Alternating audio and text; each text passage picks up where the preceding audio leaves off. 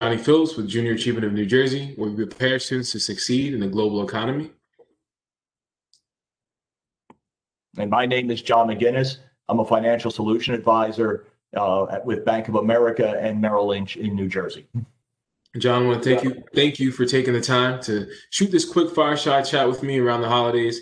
I'm sharing Sure. some insight for for our young people. Um, to start, would you mind sharing your job story, meaning any jobs you've done in the past, and how um, that has led up to you and your your current role in Bank of America? Sure, I'm more than happy to. Uh, this is a job of passion. Uh, I'm a financial solution advisor in the bank. So what that means is that I can help clients with their banking needs, like checking accounts, CDs on the bank side. But more importantly, I can help them on the investment side at Merrill Lynch. And that's like 401ks, IRAs, mutual funds. Uh, and this all started, I was a trader for 35 years on the trading floor. If you ever saw the movie Trading Places, uh, that's what I that's what I did for a living. And if you look really close, you'll see me in it with 1982 hair. We all made mistakes. Yeah. Um, and so anyway, that's what I did for, and I loved it. But pro- after I left that, I semi-retired for a year and a half. It's like, what do I want to do next? And I went to a friend's house, and she had a Geico insurance card on her table. And I said, oh, by the way, if you own one share of Berkshire Hathaway, you can get a discount on that. And she goes, this is what you should be doing. You know all this financial stuff. And I Mm. took over my family's finances when I was 13 years old. Uh, we were poor, blue collar. My father was didn't make it through high school. He was a, he, you know, used his hands, and I learned how to buy and sell coins from my grandfather on my Mhm. mother's side, and hustled and made money. So I started investing for my parents as a teenager. With the profits from that, when I was 19, we bought a dilapidated three-family house. So while my friends were down the Jersey Shore having a great time, Yeah. I'm on the roof touring it. yeah. but doubled the value of the house, had positive cash flow, and bought two other houses after that. So what I'm Mm. getting at after this story, uh, I'm helping my family change their financial history. I've done that for friends and families all my life, and now I'm in that role where I can help clients and other people, and I really love being able to change somebody's fam- family history and finances. No, John, thank you for sharing that. You, you mentioned uh, some interesting things. So you started off with it's uh, it's a job of passion, and we see that because your job story kind of started as an entrepreneur. You kind of figured it out um, for yourself, right? How can I make this work for me and my family? And then Yeah. scaled Yeah. that into you know working with with families and helping to change their financial history. That's that's really big and really powerful. Not something that a lot of young people really think about. I can take coins and start to invest and Oh, really yeah. help my entire family. so uh, Yeah. you know that's, that's great, great um, insight that you shared and, and kind of how you made it work. And you got me thinking on how your education path might have um, helped this or help you leverage yourself a little bit more in terms of uh, you know your your like for finance, your like for making money. You know, how did your education play a role? In? Um, Not, I went to college for about 20 minutes. Okay. Uh, I went, it, uh, college wasn't for me. And uh, I lasted six weeks Mhm. and I quit because I wanted to get on the playing field. I didn't want to be in the stands. Uh, just me. Now, both my kids went off to college because they said, well, dad, you didn't go, but times are different. Um, so, yeah, so I left, I went to the University of Hard Knocks. Uh, you know, made mistakes financing, you know, in finance as a kid. Uh, but I just hustled. And when I was 19 years old, I went down to the trading floor.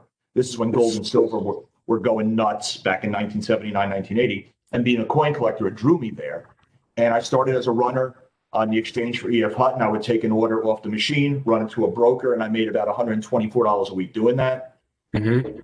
But I wanted money and I wanted, you know, to buy a house. So I worked a lot of overtime. I would go in at four o'clock in the morning, work the London shift till eight o'clock, have breakfast, and at nine o'clock go down to the World Trade Center where the exchange was and work until five, six, seven o'clock at night there. So a lot of hustling. So education, no. I University of Hard Knocks. Yeah. And, you know, John, to your point, that is an education in itself, right? You can oh, Okay. educate yourself, um, you know, in the streets, on the floor, in the Okay. in the work world. You know, you're still educating. It's not the traditional sense of of going and get a degree. Um, and I like that you keep mentioning your interest as a coin collector and how this kind of kickstarted um, your your career in a sense and your entrepreneurship. Um, when was it that you realized you had an interest in in coins and and in doing this and in doing this kind of work? That's easy. Uh, for my communion, my grandfather, who's an Italian immigrant, came over here with you know no money in his pocket and not knowing the language, and became a successful fruit and vegetable man in Newark. Uh, he was a coin collector, so for my communion, he gave me a coin collecting set. And when you're getting a dollar a week allowance back then, that's how old this how old I am. When you see a nickel can be worth two dollars, you pay attention. So I would go to my father's change every day, you know, and trying to find coins like that.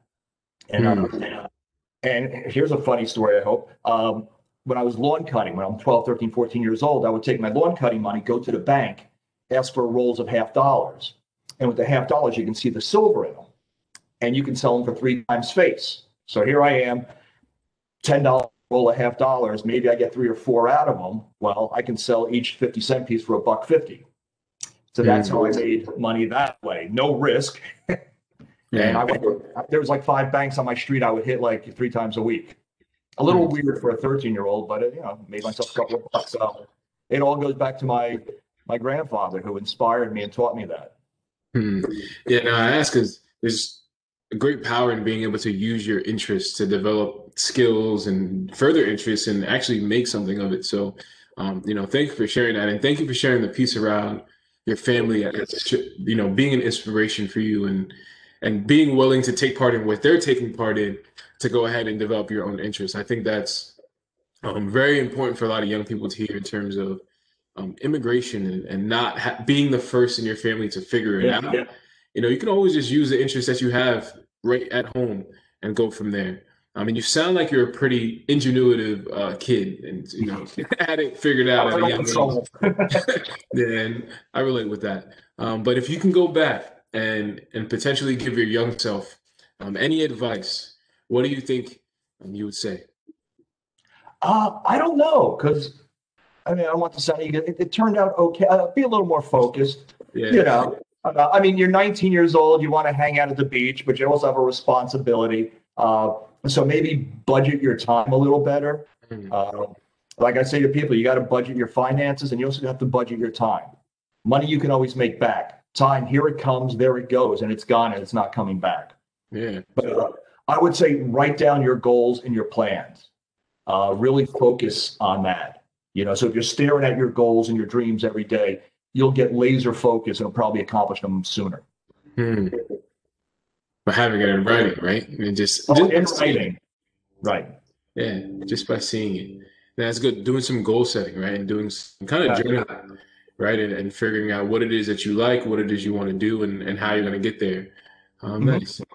Um, to end it off, is there any additional resources you would want to share with any young people who are interested in maybe becoming a trader, um, a coin collector, a financial solutions advisor? Um, are there any resources that you would want to share to how to develop these interests and how to further um, that path?